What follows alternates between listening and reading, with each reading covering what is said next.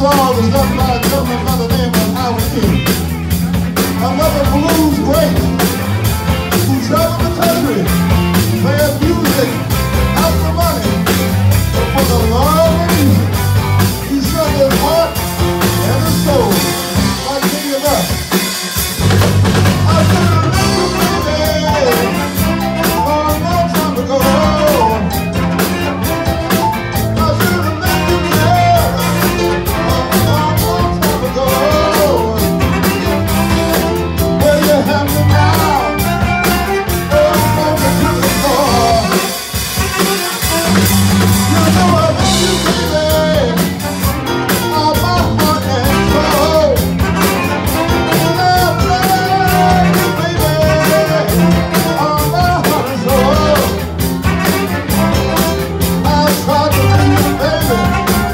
Yeah.